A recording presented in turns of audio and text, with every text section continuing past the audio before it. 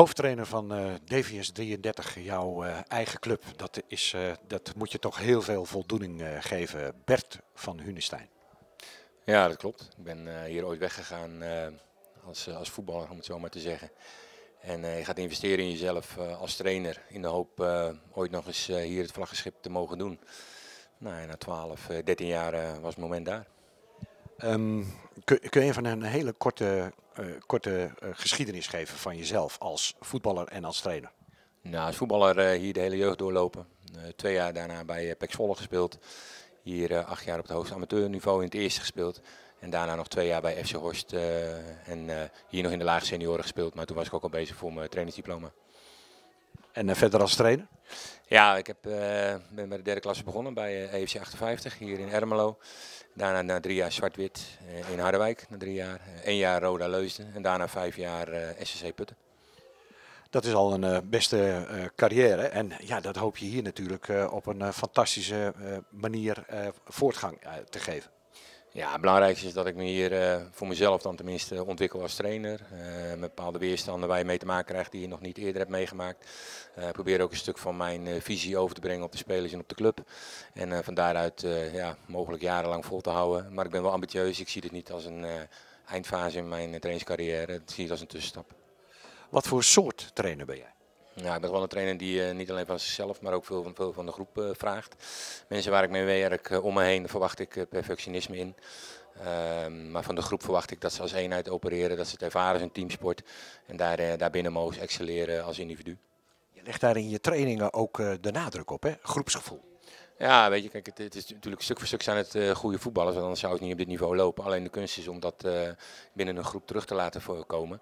Nou, ik, heb natuurlijk DBS goed bekeken de afgelopen jaren. En uh, daarin bleek ook wel dat, uh, dat het meer een eenheid, als eenheid moest opereren. Vooral in wedstrijden waarin het niet liep. Nou, daar ben ik sowieso altijd heel druk mee bezig. Uh, maar daarnaast uh, is er ook echt wel ruimte voor, voor spelers om zichzelf te laten zien binnen een wedstrijd. Maar goed, als je wedstrijden wil winnen, heb je elkaar nodig. En dan moet je dingen van elkaar kunnen verdragen. En dat proces ben ik al mee begonnen, ja.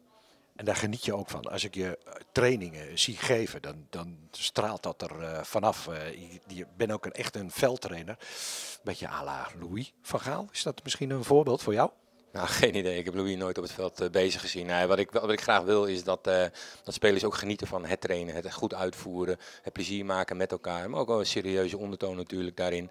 Uh, blijf dingen van elkaar aas, eisen, maar ook veel fun. Want als je plezier maakt met elkaar, dat is bij iedereen in zijn werk ook. En ik zie dit als mijn werk en spelers moeten dit ook als hun werk zien in de goede zin van het woord. Alles wat je doet moet je goed doen. En maar dat mag ook met plezier, want je moet genieten van de successen die je dan behaalt. In de voorbeschouwing van deze oefenwedstrijd tegen Gedemuiden had je het over uh, ja, veel uh, pressen. In de eerste helft uh, lukte dat heel goed. De te tempo zat erin. Was je daar tevreden over? Ja, bijzonder. Want uh, Genemuiden heeft uh, niet echt vaak de bal goed over kunnen spelen. We zaten steeds goed kort op. De hele helft dat deed mee. Daar heb ik van genoten. Maar goed, je voelt het al in je vraagstelling. In de tweede helft was dat natuurlijk een stuk minder. Maar daar heb ik minder problemen mee. Omdat je bezig bent met iets in te slijpen binnen een groep. Dan moet je fysiek uh, moet je er beter op staan om dat heel lang vol te houden. Nou, dat konden we niet. Dat is helemaal niet erg. Dat, dat, dat, dat hoort bij dit proces. Maar de eerste helft hebben we laten zien dat wij de baas wou zijn. ook bij balbezit van de tegenstander. En dat is goed gelukt. Klaar wil je zijn op 19 augustus, denk ik. Hè?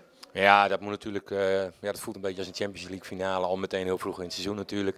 Het is gewoon zo, de KNVB-beker is hartstikke belangrijk voor ons als vereniging, voor ons als team. Goede, goede laatste graadmeter natuurlijk met een groep die ook bij ons in de derde divisie speelt. Dus uh, ja, dan zullen we zien waar we staan als groep. Jouw echte visie als uh, voetbaltrainer is? Nou, vooral de baas zijn. Ik wil uh, zowel bij balverlies als uh, bij balbezit wil ik uh, heel dwingend zijn. Dat vragen we ook van de jongens. En je moet het publiek ook wat bieden in de goede zin van het woord.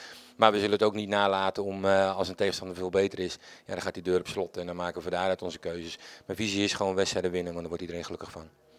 Bert, bedankt voor, dit, voor deze eerste trainersvisie. Joh. Dankjewel.